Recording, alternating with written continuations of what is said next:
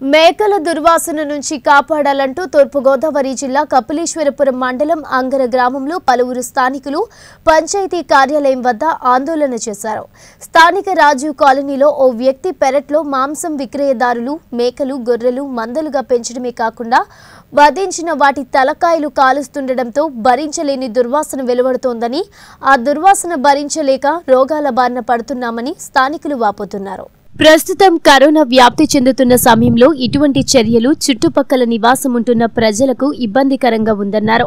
పంచాయతీ అధికారులు స్పందించి తగిన చర్యలు తీసుకోవాలని డిమాండ్ చేశారు.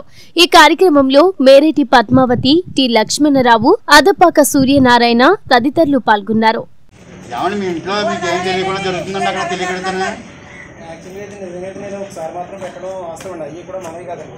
పెడితే సార్ నాకు ఫోన్ చేశారు. మీ యాట్లు అని చెప్పేసి నేను అయితే పెట్టలేదండి అని చెప్పేసి వెంటనే రాజశేఖర్కి మా తమ్ముడు ఫోన్ చేశారు. ఏం ఫోన్ వస్తున్నాయని చెప్పేసి.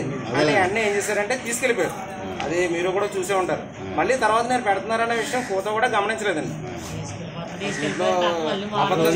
పని కూడా లేదు. అలా ఆయనతో అందరూ మాట్లాడుతూ ఉంటాను. ఆయన కూడా ఏ రోజు కూడా చెప్పలేదు నాకు. పక్కన అడిగారని చెప్పేసి అతికి ఇచ్చేయండి అని చెప్పేసి అది కూడా. కాదు చూడండి. పగలు ఉన్న- పగలు ఉన్నవండి. అందుకే రమ్మన్నారు ఒకసారి. ఒరే రాజు నేను తలకాయలు కాల్చావమ్మా అక్కడ.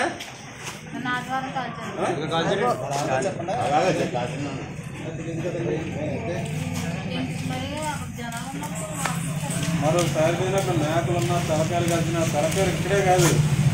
అక్కడ దమ్మ రాజశేఖర్ అయిపోయినట్టు మీరు దమ్మ రాజశేఖర్ మరి అక్కడ కూడా ఇళ్ళ కాల్ చేస్తాడు నేను ఉండేది